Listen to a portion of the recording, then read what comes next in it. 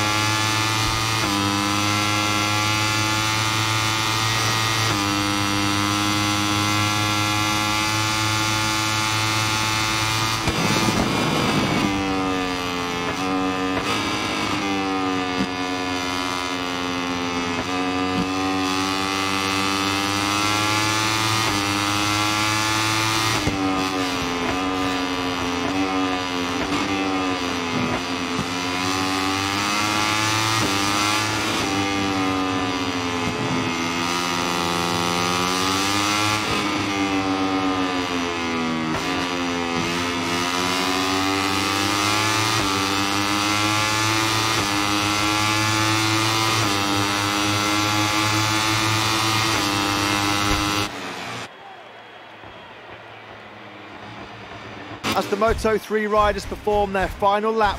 Let's take a look.